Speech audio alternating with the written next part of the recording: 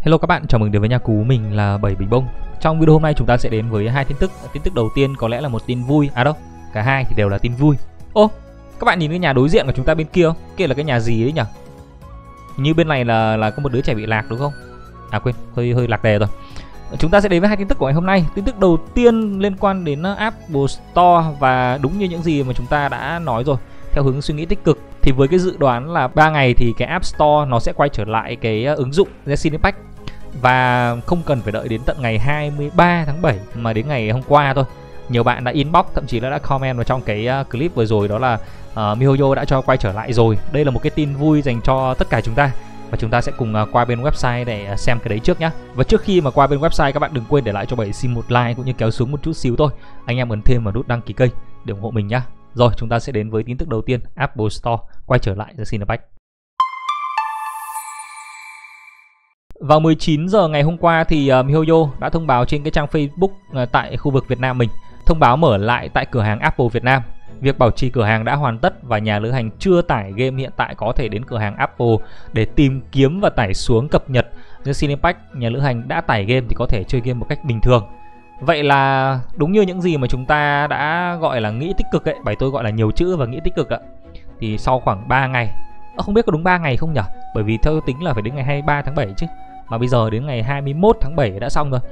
Thì uh, chúng ta đã có quay trở lại The Cinemax ở trên cửa hàng Apple Store. Bên dưới này thì uh, không biết tại sao các bạn không chúc mừng cái tin vui này mà à đây các bạn chúc mừng đây. Mà các bạn tôi thấy là đa số các bạn đều để chữ CH Play. Tại sao? Tại sao các bạn lại để chữ CH Play ở bên dưới này? Ờ, có khá là ít bạn uh, để chữ chúc mừng nhỉ?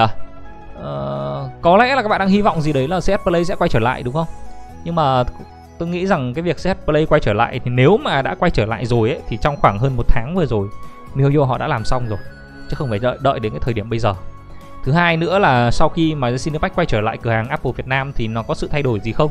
Không biết là các bạn có thể check à, hộ bảy tôi xem là trên Apple Store thì Cinepack có thay đổi gì không?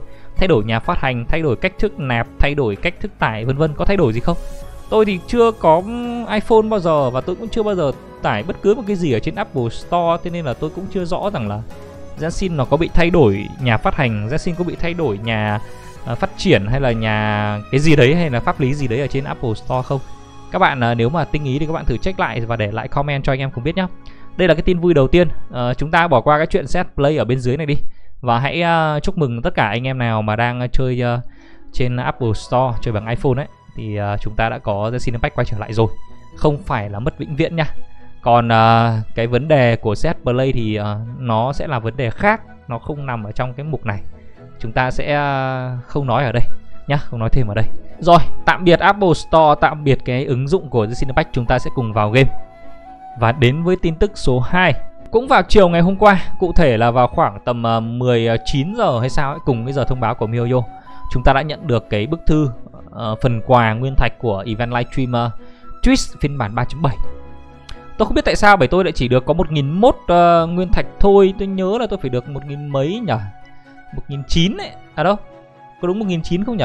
Ờ đúng rồi 1.900 hay sao Nhưng không hiểu sao tôi chỉ được có 1.000 thôi. Không biết là các bạn có giống bảy tôi không? Bảy tôi thì cũng livestream 30 tiếng. Thế nhưng mà nó theo kiểu là tôi tôi uh, tôi livestream ngày cuối cùng tôi mới ngồi tôi live một phát mười mấy tiếng luôn các bạn. tức là hoàn thành chỉ tiêu ấy ngày cuối cùng tôi chỉ có khoảng uh, tôi nhớ là khoảng 21 tiếng tức là tôi còn khoảng 9 tiếng nữa để hoàn thành chỉ tiêu đúng không?